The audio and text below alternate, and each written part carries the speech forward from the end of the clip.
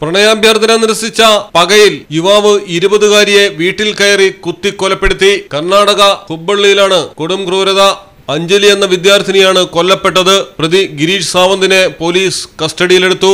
വീട്ടിൽ അതിക്രമിച്ചു കയറിയായിരുന്നു കൊലപാതകം നടത്തിയത്. പ്രതി നിരന്തരം പ്രണയാഭ്യർത്ഥനയുമായി വിദ്യാർത്ഥിനിയെ ശല്യം ചെയ്തു വരികയായിരുന്നു. കഴിഞ്ഞ ദിവസവും ഇത് ആവർത്തിച്ചു. സംഭവത്തിൽ വിദ്യാർത്ഥിനിയുടെ ബന്ധുക്കൾ ഇടപെട്ടു.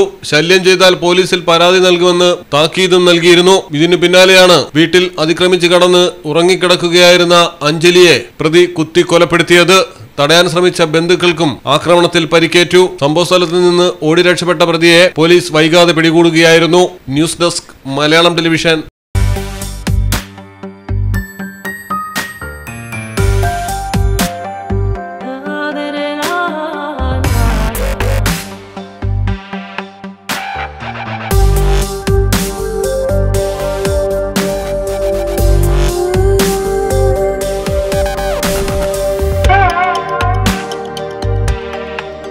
Make a statement jewelry by Claris.